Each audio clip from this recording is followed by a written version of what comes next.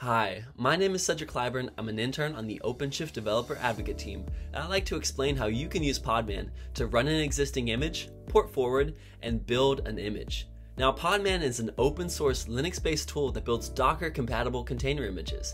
However, the main difference is that Podman doesn't require the Docker service or even any other active container engine for the command to work, and has similar directory structure as Buildah, Skopeo, and CRI-O. As far as background concepts that you need to know, if you know Kubernetes pods, you'll understand Podman pods. And for more information, you can go to developers.redhat.com where we have plenty of resources to help you out. Additionally, a group of seals is actually called a pod, explaining the interesting logo for Podman. The first step to running an existing image is, of course, installing Podman. Now I'm running Red Hat Enterprise Linux Server 8, so I'll run yum-y install Podman, or if on Fedora, replace yum with DNF, or whatever distribution you're currently using. Something interesting about Podman is the great integration with Docker, and you'll quickly notice that all of your favorite Docker commands also exist through Podman. If you'd like to try it, you can run alias docker equals podman, which will replace your Docker commands with Podman. Docker commands such as pull, push, build, run, commit, and more can all be run through Podman. Just to get a general understanding of where we are, let's find our Podman version with podman-b and podman info to get details of the container environment. Firstly, let's do the easy part and run an existing image using Podman. I've got one of my personal favorites here, the Docker Funbox, which is a container that has fun terminal commands and art created by Werner Beroux. Now, in order to create the container, pull that base image and additional requirements, let's run podman run -rm -it wernight slash funbox, where the rm argument removes the container after it exits, and the it argument connects the container to the terminal so that you can provide input. I know you might be stressing, so we'll be attaching a Podman Basics cheat sheet to the Red Hat developers website to this video. Sweet. Now we can see our container running on top of Debian Jessie, and we get a neat little UI for commands we can try. Let's go ahead and run podman run -rm -it wernight slash funbox nyancat as an argument. And there we go, a trip down memory lane. If you're following along with this video, feel free to try any of the other fun animations before continuing. Now let's talk about port forwarding with Podman.